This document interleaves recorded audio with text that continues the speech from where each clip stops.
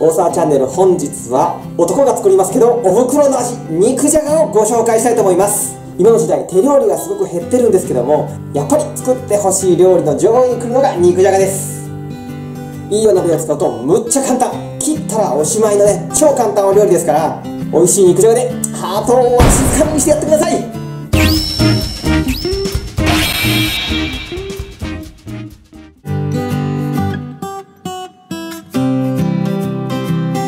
まず玉ねぎはくし切りにしていきます。ちょっと斜めに包丁を入れて。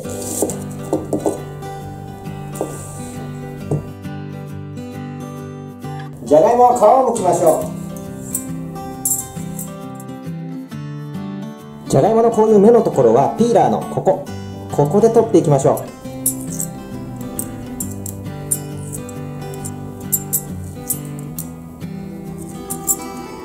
じゃがいもは乱切りです。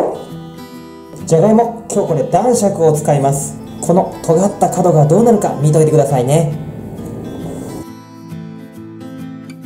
人参はじゃがいもよりちょっと小さめに乱切りです。お肉にはお酒を振っておきましょう。ちょっと揉みましたら細切れなので今日は切らなくてもいいですけども大きいものだったらちょっと切ってくださいね。今日の調味料はみりんと醤油だけ。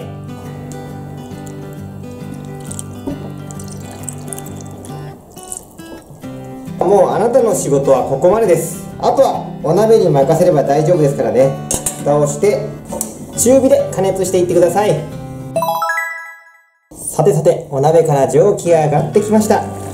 ここで一回混ぜておいてください。お野菜がまだ柔らかくないのでねここで混ぜても煮崩れはしません。でもちょっと見えますか？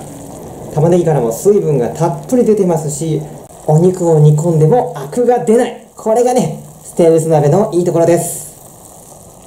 そしたらお鍋は保温力がすごいので中火から火をぐーっと小さくして一番弱い火でこのまま15分から20分炊いていきましょう。そうすることで煮崩れもないしめちゃくちゃ美味しくなりますよ。それじゃ時間になりましたので中見てみましょう。じゃー。ん美味しそうにできております。ゆるい火でやったのでねこのじゃがいもの角を見てください。尖ってますよ。ただこれホクホクなのでお箸でみりんと醤油が 50cc ずつだったのに玉ねぎからたっぷり水分が出ております。ここでちょっと崩れてる方が好きな方は火加減を中火に戻しまして蓋を開けて煮切っていきましょう。そうすることで照りが出てねより一段と美味しくなりますよ。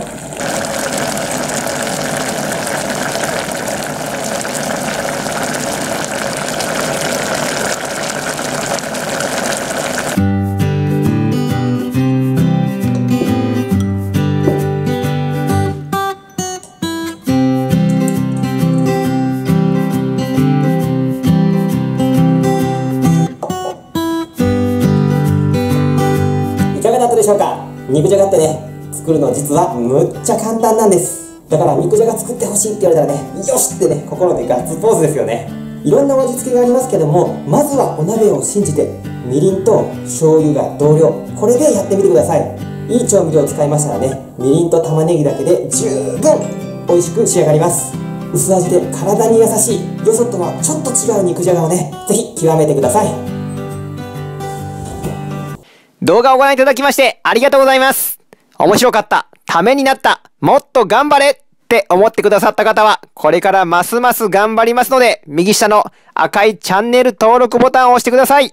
よろしくお願いします。